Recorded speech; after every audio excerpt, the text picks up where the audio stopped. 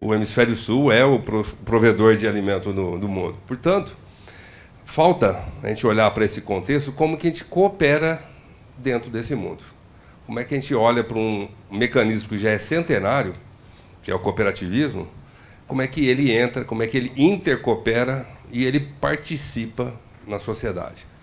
É, enquanto cooperativa, nós temos hoje no Brasil de crédito mais de 800 cooperativas de crédito no país. E elas estão aí responsáveis por um, um volume muito expressivo, chegando a quase 10% de market share no sistema financeiro nacional. Isso em cinco anos, saindo dos próximos 5% a 6%, ela atinge quase, quase 10%, muito impulsionado por quê? Pela presença que ela tem do lado do teu sócio, que é o cooperado. O cooperado entra na cooperativa e ele é o provedor de recursos e, ao mesmo tempo, tomador de recursos. E aí começa a girar um ciclo que a gente chama de virtuoso. Porque a hora que ele faz isso, ele toma crédito, ele deixa, deixa recurso, ele recebe o que foi resultado, e aquele resultado ele gira a economia local.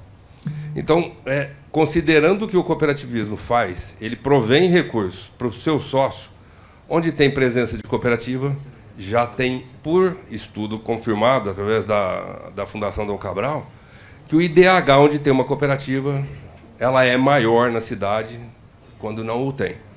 E isso propõe, ou deixa claro, que o cooperativismo está cada vez mais presente e participando. Agora, ele é um concorrente? Eu diria que nós estamos tudo aqui complementando todas as instituições financeiras, os FDICs, as fintechs, o grande Banco do Brasil, que foi e continuará sendo sempre o grande provedor de crédito, dita as regras, consegue colocar a harmonia, participa com o Ministério da Agricultura na formulação de políticas agrícolas. A gente tem que conseguir colocar mais recursos no mercado. Nós falamos 30% ainda vem do bolso do produtor. 30%, é muita coisa. É muito dinheiro. E nós temos um mecanismo de financiamento onde a gente provém recursos na entrada e se espera o sucesso para pagar no final. Ou seja, um mecanismo de proteção. No fim, no agronegócio, nós temos três pilares básicos. Né? O primeiro pilar é o, clima. Ele é possível de se mitigar, e o seguro agrícola é a forma de, de fazê-lo. O segundo dele é o mercado, também mitigável, através de você fazer seus redes, suas políticas. E o terceiro, que é talvez onde o cooperativismo mais participa, é na gestão. É formar o cara lá na roça. Falando dessa forma bem simples, é, por quê? A gente tem aquele produtor rural que está mais organizado na sua atividade, já está com o seu balanço desenvolvido, já tem sua estrutura, mas a hora que você pega a maioria dos produtores pequeno e médio, ele precisa de suporte na gestão.